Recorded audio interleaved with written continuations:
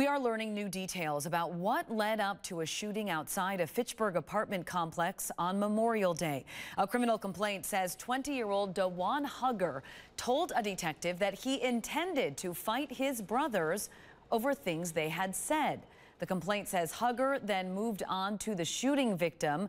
The victim's mother told officers Hugger stood over her son and fired several times. Hugger was also shot.